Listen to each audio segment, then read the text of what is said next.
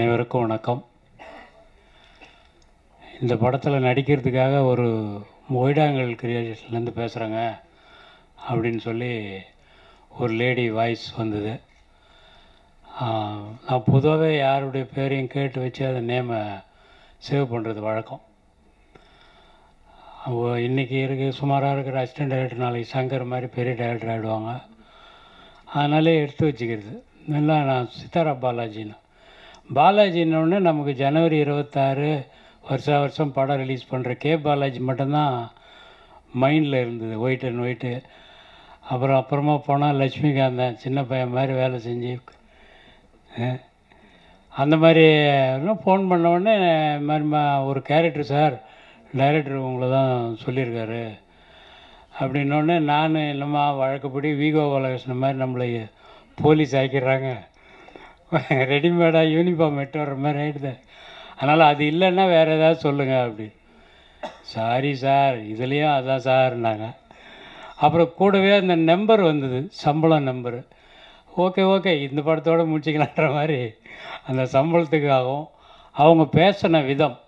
சித்தாரா பாலாஜி ஏன் சொல்கிறேன்னா திரும்ப திரும்ப இப்போ இருக்கிற நாட்டில் இருக்கிற ப்ராப்ளத்தில் ஏதாவது ஒரு ப்ராப்ளம் கொடுத்தா ஈஸியாக சால்வ் பண்ணுவோம்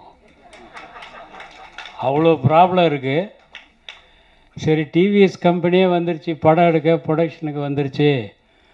ஹாப்பி அவங்களாம் ரெகுலராக படம் எடுப்பாங்கன்னு சந்தோஷப்பட்டுட்டு இருந்தால் அவங்க ப்ரொடக்ஷனில் இப்போ வந்து ரெண்டு மூணு நாளாக இது டிவிஎஸில் போர்ஷன் கொஞ்சம் குறைக்கிறாங்க ப்ரொடக்ஷனை அப்படின்னு. அதை நீங்கள் எதோ பார்த்து சமாளிச்சிங்க. சினிமா ப்ரொடக்ஷன் மட்டும் நிற்கிறாதீங்க இது ஒரு படத்தில் இரநூறு குடும்பம் முந்நூறு குடும்பம் இருக்கும். அதுக்கு சித்தாரா தான் ரெக்கமெண்ட் பண்ணணும். மிகச்சிறந்த நான் இந்த நிக்கி சுந்தரம் மாதிரிலாம் பணக்காரனாக இருந்தேன்னா வெயிலே பார்க்க மாட்டேன். வெயிலே பார்க்க மாட்டேன். ஆனால் என்ன தரையில் படுத்து பிறண்டு ஷூட்டிங் பார்த்தேன். இவ்வளோ பணம்லாம் இருந்தால் நம்ம எவனையுமே மதிக்க மாட்டோமே. இவர் என்ன இவ்வளோ சாப்பிட்டா இருக்காரு? அவரை சித்தாரா பாலாஜிக்கு கேக் வச்சு அன்றைக்கி பர்த்டேக்கு இவர் குழந்த மாதிரி கொண்டாடுறாரு. இதெல்லாம் வந்து ரத்தத்திலே வரணும் அப்படின்றது தான் என்னுடைய இது. அதுக்காக தான் அவ்வளோ பெரிய பணக்காரன் ஆகணும் நம்ம. இல்லைங்க நானும் எளிமையானவன் தான் காட்டுறதுக்கு. அதில் சார்லி அருமையாக நடிக்கிறார். என் டைரக்ஷன் நடிச்சிருக்காரு.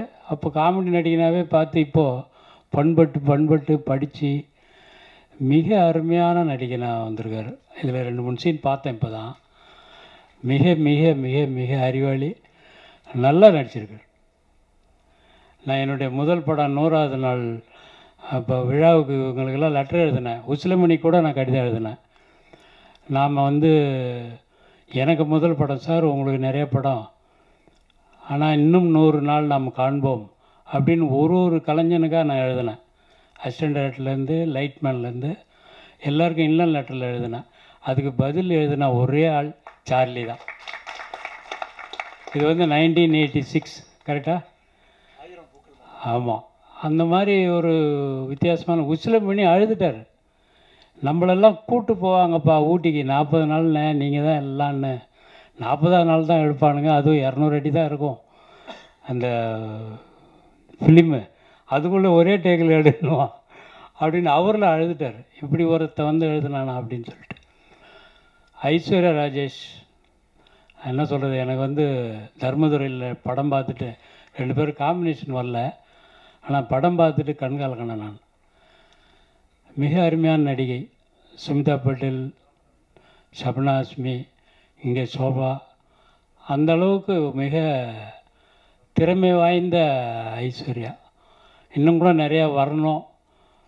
இல்லைன்னா கொஞ்ச நாள் கழித்து நயிச்சா நம்ம ஆளுங்க அந்நியாக்கிடுவானுங்க நல்லா நடிக்கிறாங்க அவங்க அப்படின்னு அப்புறம் அப்படி மெதுவாக கொண்டாந்துருவானுங்க. அதனால் அதுக்குள்ளே நீங்களாகவே சுயம்பாகவே நீங்களே வந்து உருவாக்கிக்கணும்.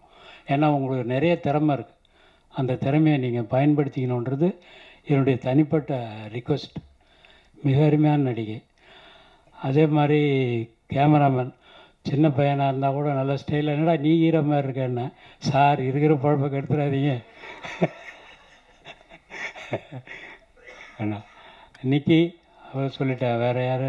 நான் லிரிக் ரைட்டரு டிவிஎஸ் ஃபேமிலியிலேருந்து வர்றவங்க இங்கிலீஷில் பேசுனா பரவாயில்ல. தமிழில் பாட்டு எழுதினவர் இங்கிலீஷ்லேயே பேசுகிறாரு அதான் நமக்கு புரியல அது அது. தயவு செஞ்சு தமிழ் பாடல் எழுதுகிற நீங்கள் வந்து அப்படி பேசக்கூடாது. நீங்கள் ட்ரை பண்ணுங்கள் ரொம்ப போயினே இருந்துட்டீங்க. சரி ஷேக்ஸ்பியர்லாம் வந்துடுவார் போல இதுன்ட்டு நான் பயந்துட்டேன். பாருங்கள் பா சாங் கம்போசிங்க்கு அமெரிக்கா போவாங்க. சாங்கே அமெரிக்காலேருந்து வந்திருக்கு. அவர் அவ்வளோ அழகாக தமிழ் பேசுகிறாரு பாடல் ஆசிரியர் நீங்கள் ஆங்கிலத்தில் பொழந்து கட்டுறீங்க உங்கள் திறமை ஓகே. ஆனால் ஒரு கவிஞன்றவன் தமிழ்ன்றவனுக்கு அந்த திமிர் இருக்கணும். அந்த தமிழ் மொழி மேலே ஒரு பற்று இருக்கணும். நாங்கள்லாம் நடிக்கணுங்க. சொல்கிறத கேட்டுட்டு போகிறோம் ஆனால் நீ எழுத்தாளன் இல்லை. எழுத்தாளனுக்குன்னு உள்ள உள்ள ஒரு திமிர் இருக்கணும். அந்த திமிர் இன்னிலேருந்து உனக்கு வந்துச்சுன்னா நீ இன்னும் பெரிய லிரிக் ரைட்டராக பாடலாசிரியராக வரலாம். பிரீத்தி சின்ன பொண்ணாக இருந்தாலும் ஃபாஸ்ட்டாக வேலை செய்கிற பொண்ணு.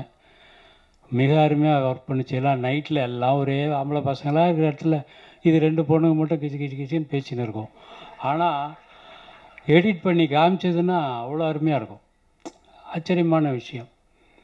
அப்புறம் நம்ம டைலாக் ரைட்டரு அவர் ரெண்டு நாள் கொஞ்சம் ரைட்டர் மாதிரியே இருந்தார். அப்படி இருந்தது இல்லை சார் அதை வந்து அந்த டைலாக் அப்படி தான் சார்.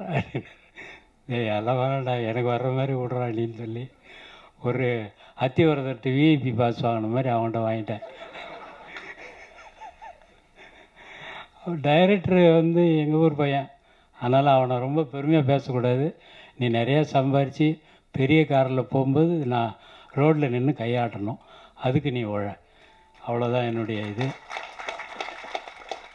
மீண்டும் தயாரிப்பாளர்களுக்கு என்னுடைய நன்றி கூறி தசாவதாரம் எடுக்கிற நிக்கில் முருகன் மாதிரி நீ இன்னும் பெரிய ஆளாக வரணும். இது நாலாவது ட்ரெஸ்ஸா அஞ்சாவது ட்ரெஸ்ஸான்னு தெரியல. ஏன்னா இன்றைக்கி ரெண்டு ஷோ அவனுக்கு. நான் நான் பார்த்தேன் மூணு இப்போது மத்தியானத்தில் என்ன பண்ணான்னு தெரில காலைல என்ன பண்ணான்னு தெரில அவர் பிக் பாஸில் கூட ரெண்டு ட்ரெஸ் தான் போடுறாரு சனிக்கிழமைக்கு ஞாயிற்றுக்கிழமைக்கு. கமலஹாசனே சாப்பிட்றோம் உங்களுக்கு இருந்தாலும் அந்த உழைப்பு தான் அவனை கொண்டாந்துருக்கு. ஏன்னா நிக்கில நான் இருபது இருபத்தஞ்சி வருஷம் பார்த்துட்ருக்கேன் அதே ஓட்டம். இப்போ தான் கொஞ்சம் கண்ணாடிலாம் போடுறான். என்னன்னு தெரில ட்ரை பண்ணி வாட முடியல போல இது. ஹீரோயின் வேறு யாராவது கூப்பிட்டு உட்கார வச்சிட போகிறோம் மிகச்சிறந்த இது. ரொம்ப நன்றி. நிறைய படம் எடுக்கணும் ஐயா. நீங்கள் டிவிஎஸ் சார்பாக நிறைய படம் எடுக்கணும். அவருக்கு ஹீரோ ஆகணும். அவருக்கு ஒரே ப்ராப்ளம் என்னென்னா ஹீரோயின் பிடிக்கிறது கஷ்டம். அது கொஞ்சந்தான் கொஞ்சம் ஹைட்டான பொண்ணாக பிடிக்கணும். இல்லைன்னா ஹீரோ இல்லாமல் ஸ்டைலாக ஜேம்ஸ் பாண்ட் மாதிரி அந்த மாதிரி படங்களாக எடுங்க. நன்றி வணக்கம்.